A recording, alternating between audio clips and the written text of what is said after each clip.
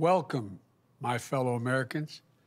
First and foremost, I want to thank you for choosing us and believing that America is worthy of your aspirations.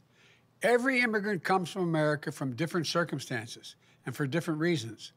But you all have one thing in common courage. The courage it takes to sacrifice and make this journey. The courage to leave your homes, your lives, your loved ones, and come to a nation that is more than just a place, but rather an idea. An idea that where everyone is created equal and deserves to be treated equally. The idea that we have as a nation, and we, are, we can define America in one word possibilities. Possibilities since its founding. That very idea has been nurtured, enriched, and advanced by the contributions, sacrifices, and dreams of immigrants like you and immigrants like my own ancestors from Ireland, and like generations of our fellow Americans.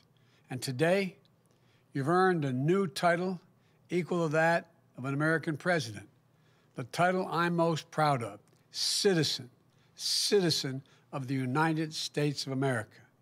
I look forward to standing with you as you embrace your new rights and responsibilities, as you build your lives and legacies here, as generations have done before you in this great nation of immigrants. So, welcome, my friends. Welcome, my fellow Americans. Welcome. May God bless you all, and may God bless the United States of America.